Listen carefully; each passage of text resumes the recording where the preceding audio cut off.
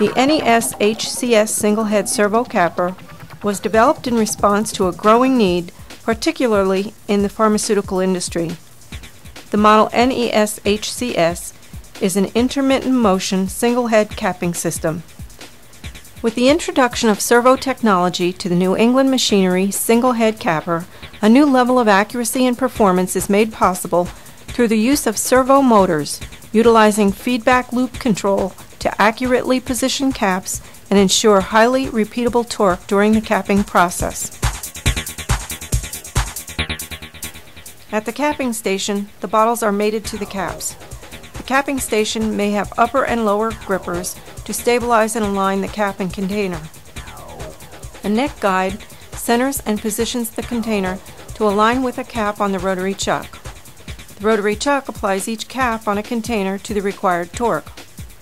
The exit star wheel contains a sensor checking for missing caps in the event a cap was lost in the cap application process. The servo motors used in NEM's cappers, the only servo system specifically designed for rotary capping machines. It allows for easy installation using a minimum of slip rings, does not require the mounting of bulky servo amplifiers, and uses a single cable connection to the servo module. This system supports the flexibility of recipe-driven format changes, torque control, the ability to sense and reject missed torque caps, and to document torque values.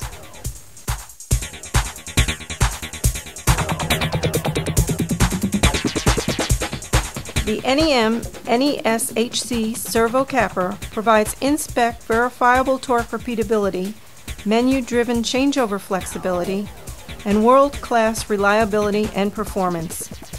NEM now offers a full line of servo cappers to fit the various needs of its customers. The cappers start with the single head and continue on up to multiple head high-speed rotary chuck cappers, all with the same servo capabilities. The NES HCS single head servo capper touchscreen offers control of the machine's functions such as status lights, fault alarms, head torque controls, hopper elevator, cap sorter, machine turret speed, and other options such as conveyor speed, sensors, and statistical process control. This screen can also be configured to allow for applied torque validation. Applied torque is set and displayed via a touch screen, which provides the ability to monitor applied torque and reject out-of-spec containers. The servo capper information interface provides a real-time applied torque data stream and can assist production facilities in controlling the capping process and meeting validation requirements.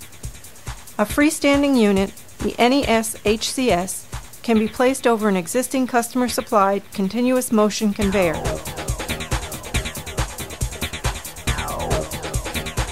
The capper offers toolless modular change parts for easy changeover.